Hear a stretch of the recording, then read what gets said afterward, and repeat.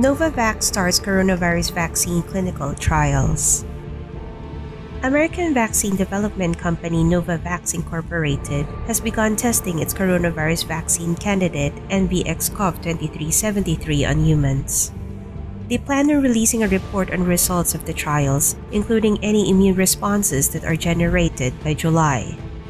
The first part of the study involves 130 healthy adult volunteers kept at two sites in Australia receiving two doses of the vaccine. Novavax will begin the second phase of the trial if the initial results prove to be encouraging. The second phase will involve further testing in other countries and age groups other than 18 to 59.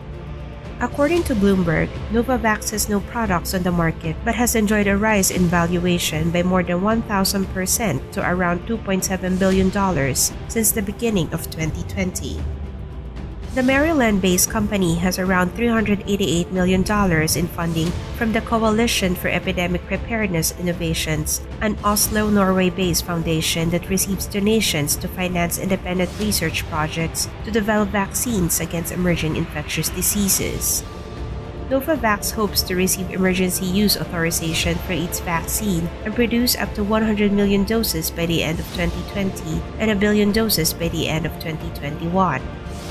The coalition's chief executive Richard Hatchett said their investment in the company allows them to focus on manufacturing in parallel with the clinical development of the vaccine. If the vaccine is proven to be safe and effective, the coalition can reportedly make doses available to those who need them without delay. Novavax CEO and President Stanley Erck called the testing of their vaccine on the first participants a significant achievement that brings them one step closer toward addressing the fundamental need for a vaccine in the fight against the global COVID 19 pandemic. While companies such as Moderna and BioNTech are also conducting clinical trials on potential coronavirus vaccines, their vaccines are based on mRNA technology, which has yet to be proven. The mRNA vaccines trigger the body to produce an immune response by making it produce copies of the coronavirus's spike protein. Novavax, on the other hand, is developing a subunit coronavirus vaccine which delivers copies of the coronavirus's spike protein into the body to produce an immune response.